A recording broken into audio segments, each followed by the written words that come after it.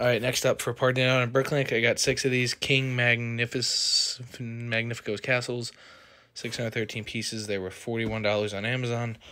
Um, 80 new lots, 192 I already have in my store, but 80 new lots is good. Uh, it's $860 part out. And after that, I got three of those boats right now, but I got three more coming. They were 38.50 on Target.com. So I'll be doing six of these and then six of those. I still have all that in there. I found the BTS sets that I had in the other room.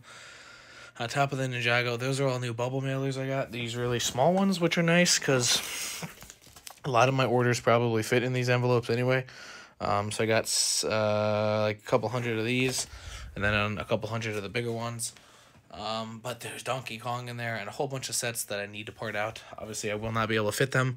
I got three more of these drawers, so 80 lots will be those three lows plus about half of that container. And then I should be able to part out the Friends boats into that.